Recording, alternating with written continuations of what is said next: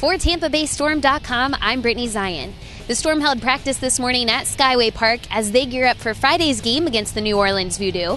We spoke with Stephen Wasil and Victor Williams about the importance of beating a division rival and getting their first road victory.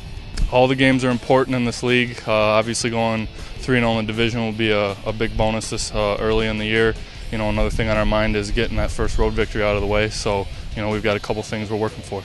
Now everything coming together, so we feel like we we're not where we want to be, but we're getting better every week. So we're coming together as a team, working hard, everybody on the same page.